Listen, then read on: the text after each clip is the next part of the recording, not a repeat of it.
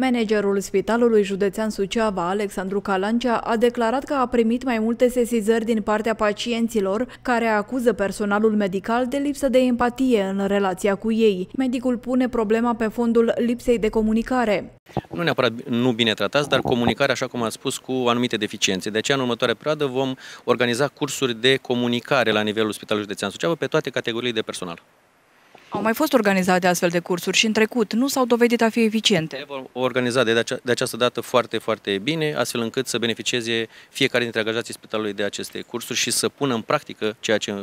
își înșusesc în urma cursurilor. Președintele Consiliului Județean Suceava, Gheorghe Flutur, este de părere că din cauza problemelor de comunicare existente la nivelul spitalului, unii pacienți aleg să se trateze în alte județe ale țării. Nu putem să ne facem că nu vedem că mai este mult încă în relația cu publicul de făcut. Trei ghișee la, intrare, la intrarea principală în Spitalul Județean se vor construi pentru relația medic-aparținătorii bolnavilor, obligatoriu pentru ca să putem să dăm informații în timp util, să se scadă presiunea de la poarta spitalului și acest lucru să vă face în perioada următoare este prins în programul de investiții pe care o să vi-l anunț în perioada imediat următoare. Și dincolo de asta, eu cred că spital clinic universitar înseamnă într-adevăr și o altfel de adresabilitate și eu sunt convins că aici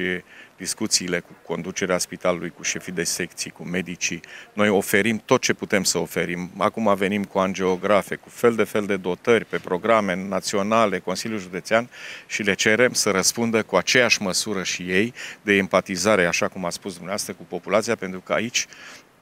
omul are nevoie de un tratament corespunzător, dar și să îi se explice, să explice la timp, să se prevină, să fie mai multă răbdare cu ei, pentru că de foarte multe ori pacientul pleacă în altă parte pentru că se